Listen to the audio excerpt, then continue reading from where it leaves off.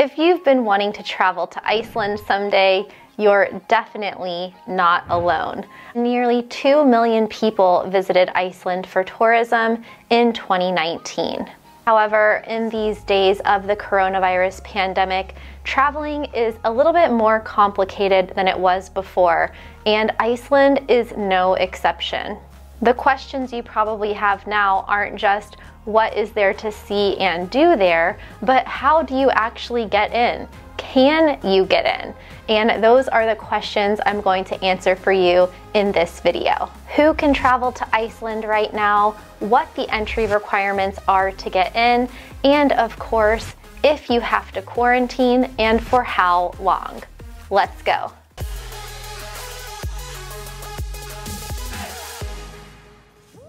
If you're new here, my name is Kristin. I own an online international relocation company and I've been to more than 60 countries in the past 20 years. On this channel, you'll find a lot of travel related videos from vlogs to coronavirus travel updates and more than 300 videos that will help you travel or live abroad while working remotely.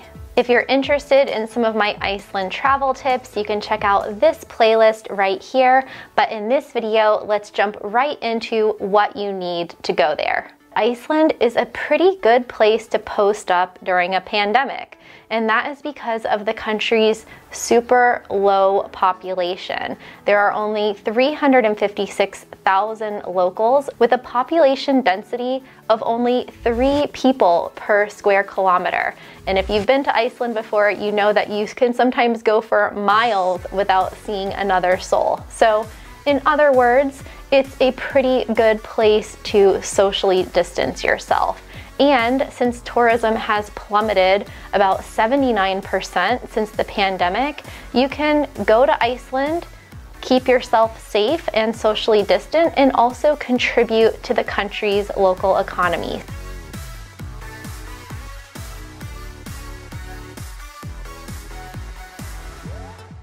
Who can travel there. So Iceland is a country that is part of the European Union as well as the EU Schengen zone. So right now they're currently abiding by the European Commission's recommendations on only allowing other EU countries in for tourism and also a handful of other exceptions.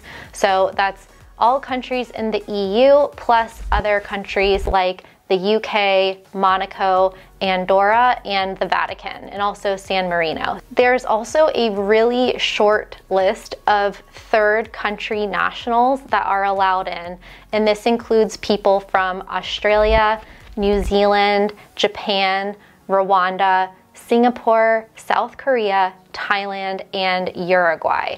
So, unfortunately, if you're not from Europe or one of those countries, if you're from the US or if you're from Canada or pretty much anywhere else in the world, as of the end of 2020, you cannot travel to Iceland unless it's for an essential travel reason or you are one of a list of exceptions, such as someone with a permanent residency or a work permit, family members there, or a romantic partner there. So if you're watching this video after 2020, then check the comments because I will post updates there as they come available. However, don't feel bad if you're not from one of those countries because I have really good news. And that is that in late October, the Icelandic government announced plans for a long stay visa for remote workers and digital nomads, including restricted countries that can't travel to Europe. So if you're interested in finding out how you can live and work from Iceland for up to six months, then check out my other video on Iceland's remote work permit over here. Okay, so once you've determined that there is a pretty good chance that you can get into Iceland, you're going to need to do two things.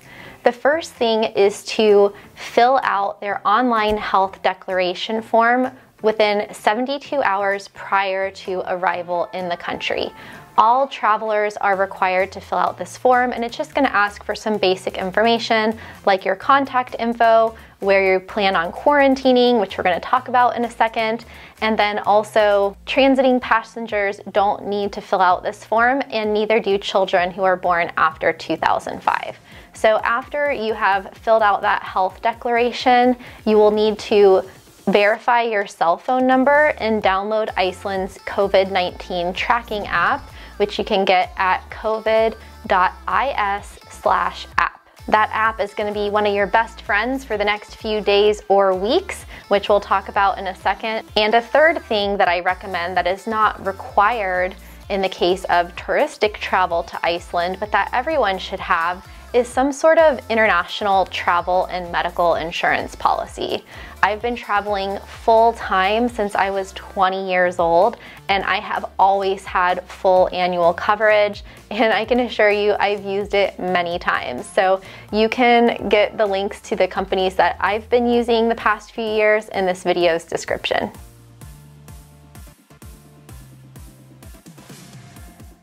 Another thing you might be wondering is how can you guarantee that you can get into Iceland? And unfortunately, the government has said that there basically are no guarantees. So if you're not on that list of approved countries, then you're going to take a risk by traveling there because they can't say in advance, they can't confirm or deny if you'll be able to cross the border once you get off the plane. And they've also said that that decision ultimately rests with the immigration officials at the airport. So if you are prepared to take on that risk, you will next need to mentally prepare yourself for quarantining. Now you have two options when it comes to quarantining. You can take the no COVID test route or the testing route. And if you decline to test for COVID, then you will need to quarantine for 14 days.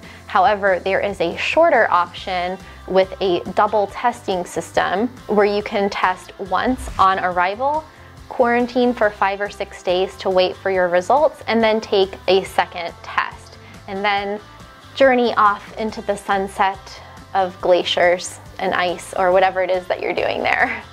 So I'm sure a lot of people will opt for the shorter quarantine route, but either way, once you arrive in Iceland, after you get through the airport and the checkpoint, you'll need to go directly to your quarantine destination. And the government hasn't specified where you can or can't quarantine. So it seems like you can quarantine at any sort of uh, guest house or hotel or private Airbnb. But once you get to that destination, there are quite a few rules for what you can and can't do once you're there. More things that you can't do. Under quarantine in Iceland, you cannot do much of anything. You can't go shopping, even to essential stores like supermarkets or pharmacies.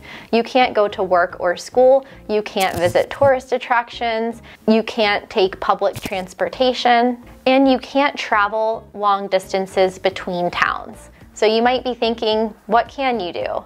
Well, you can stay home and stay safe. You can work from home if you'd like. You can order delivery services. So you probably want to stay in Reykjavik or one of the bigger cities cities in Iceland because there's not delivery and those types of services available everywhere. It's only in the bigger towns, but you can stay home, you can go for a walk, you can drive in a private car or in a rental car, but again, you can't take public transportation. So once you've gotten through your quarantine, you are free to explore. The good news about the COVID testing is that it's free, at least between December 1st of 2020 and January 31st of 2021. So hopefully the government will extend that policy, but even if they don't, it was only costing between 65 and $80 prior to that time. So not a huge investment if you're planning on going to Iceland, which is a pretty expensive country to visit. So the question remains, is it worth it to jump through all of these hoops to be able to visit Iceland?